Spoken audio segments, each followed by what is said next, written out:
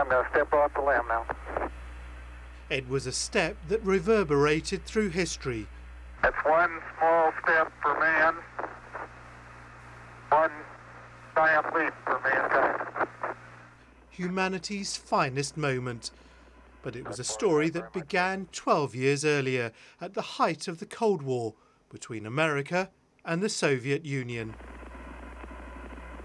Look forward to that very much, sir. Oh, that looks beautiful from here, Neil.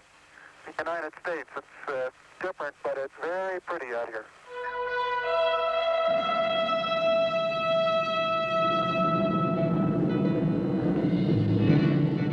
In 1957, the Soviets sent the first satellite into orbit, Sputnik 1.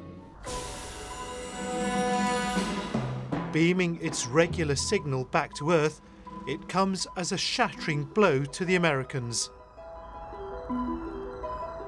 The Russians have surged ahead in the space race, and with that single act, they demonstrate their technological and ideological superiority. Sputnik, for an entire generation of Americans, was the Cold War personified. Um, it was the potential for a, a, communist takeover of America and really a communist takeover of the West. Uh, my father, who was among that generation, says he can still remember how terrifying it was to have the beep that was coming from Sputnik broadcast so that they could hear on radios across America. And it was, um, it was really a seminal moment for Americans the Soviets continue to dominate. In 1958, they launch Sputnik 2 and send the first animal into orbit. A dog called Laika.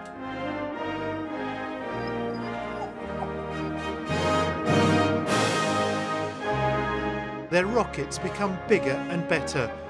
By 1961 comes Vostok 1, powerful enough to send a man into Earth's orbit.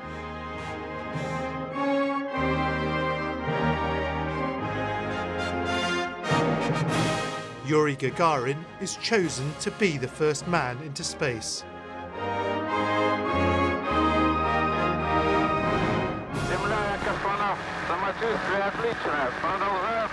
Кедр, я заря один, зажигание. Понял, дается зажигание.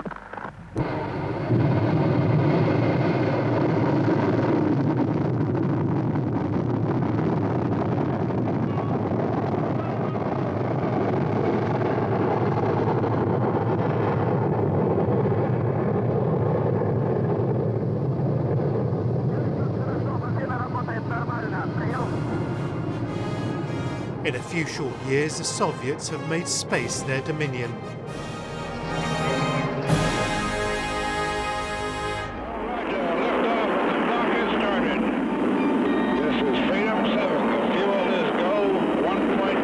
Alan Shepard becomes the first American in space a few months later. For the new US administration, coming second isn't enough. If you look back at the two superpowers and the sort of saber rattling that was going on around the world, the thing you have to remember is that other countries did take note. And if one superpower or another had a major technological triumph for all the world to see, it really could sway the ideological viewpoint that that, that country perhaps had in response to the superpower that had, that had achieved that success. So there was a key line that the vice president under Kennedy Lyndon B. Johnson came up with when trying to sell the Apollo program to the president, and that was that if you're second in space, you're second in everything. NASA is desperate to catch up, and so continues with its space program. The nation puts its faith in ex-Marine John Glenn. Have a blinking high level light. You are go. Water systems, go. Range operations, clear to launch. Mercury capsule, go. All pre-start panel lights are correct. The ready light is on. Eject Mercury umbilical. Oil evacuate. Mercury umbilical clear. Mercury evacuate. Lights on. All recorders too fast. T-minus 18 seconds and counting engine start. His heart keeps a steady beat as he prepares to blast off into space. Godspeed, John Glenn. 10, 9, 8, 7,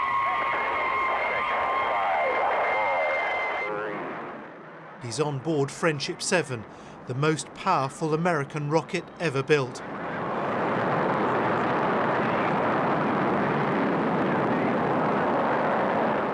John Glenn becomes the first American to orbit the Earth. Roger, zero G, and I feel fine. Capsule is turning around. Oh, that view is tremendous. The conquest, The country's youthful new president banner of freedom, then ups the ante. We choose to go to the moon. We choose to go to the moon. We choose to go to the moon in this decade and do the other things, not because they are easy, but because they are hard. But despite Kennedy's call to arms, America remains second. US rockets explode on the launch pad.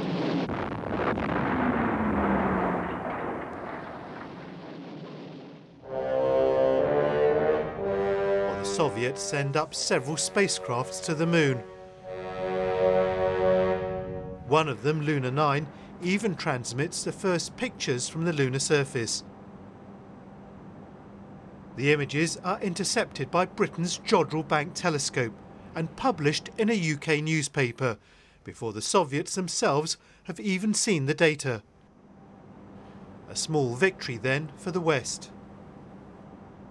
So the Russians were also not only getting into Earth orbit with heavier and heavier spacecraft, but they were also sending out probes very early on that were heading towards the moon and even out beyond. They, they were aiming at Venus very early on. And this was way ahead of what any of the American technology could do at the time. It took some years before the Americans could categorically say they'd, they'd clawed their way back to be an equal with the Soviets, and then later overtook them in the later 60s. It wasn't until the Apollo program that the Americans edge ahead of the Soviets. Using the most powerful rocket ever built, the giant Saturn V, NASA launches a series of epic missions that thrills and for a moment unites a troubled world. These initial missions are designed to test out the procedures and equipment that would lead to the first men setting foot on the moon.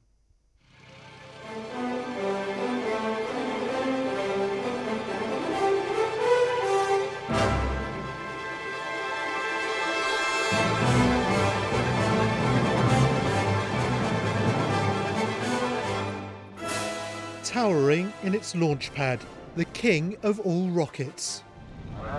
Mark, nine. We have ignition sequence start. The engines are on. Zero, three, two, one, zero. Its engines are powerful enough to send three astronauts into space.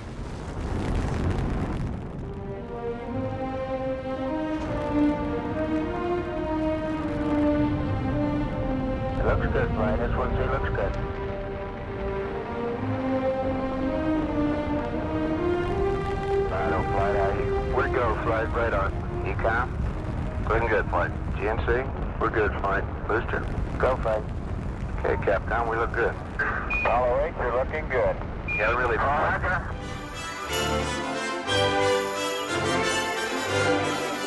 They're hurled at unprecedented speeds.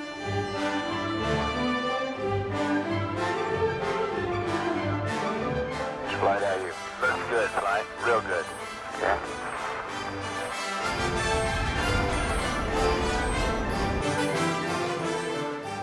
Onlookers marvel at the Saturn V's beauty as well as its might.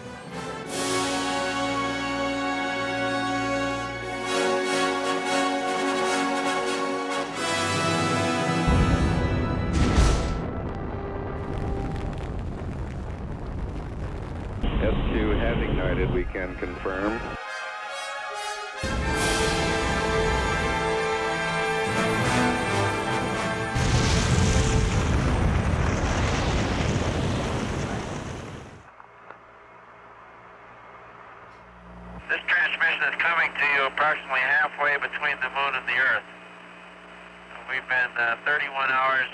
20 minutes into flight. We have about uh, less than 40 hours left to go to the moon. All systems are go, Apollo 8. Okay, Apollo 8 is go. Apollo 8 is the first manned spacecraft to escape Earth's gravity. Roger. Confirm second plane set, Flight. Roger. It reaches the moon in December 1968.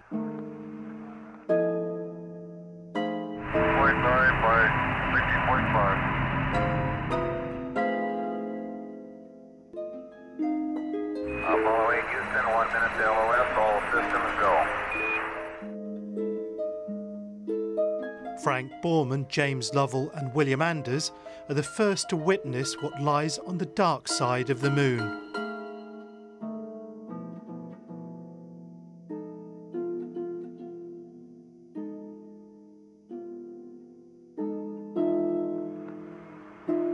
And as they emerge after one orbit, this is what they see.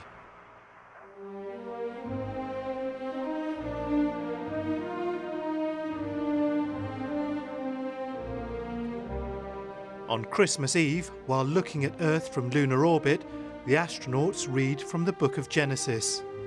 In that moment, the people of the world see what they see. In the beginning, God created the heaven and the earth. And the earth was without form and void, and darkness was upon the face of the deep. And the Spirit of God moved upon the face of the waters. God said, Let there be light. And there was light. And God saw the light, that it was good.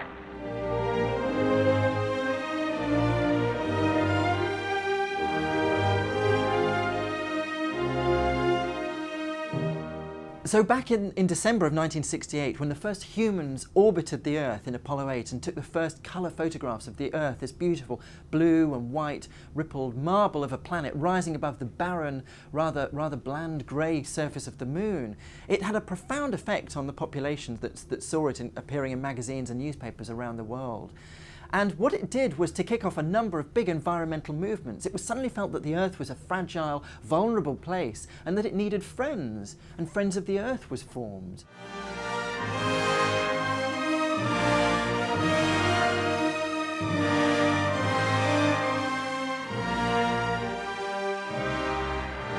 And from the crew of Apollo 8, we close with good night, good luck, a Merry Christmas, and God bless all of you, all of you on the good earth.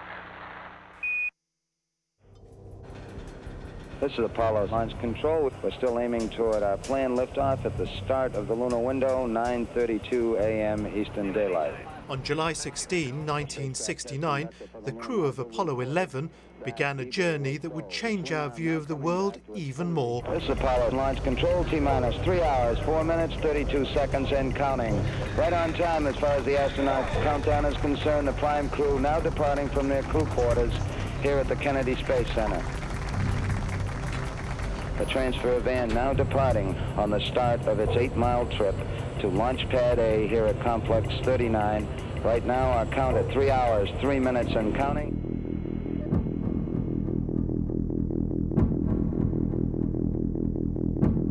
Liftoff of 32 minutes past the hour. Spacecraft test conductor Skip Chauvin now has completed the status check of his personnel in the control room. All report they are go for the mission. Neil Armstrong just reported back it's been a real smooth countdown. We passed the 50-second mark.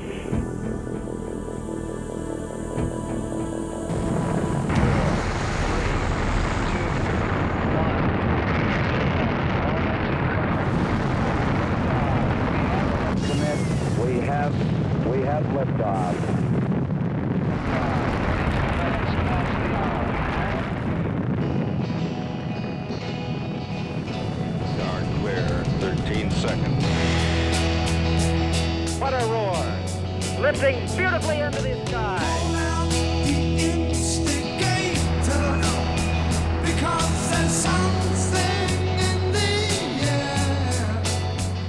Back then, all things seemed possible. It was as if the very stars were within our grasp.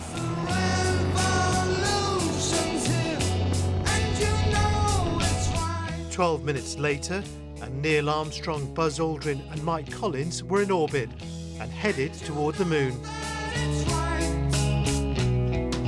A few days later, Apollo 11 reaches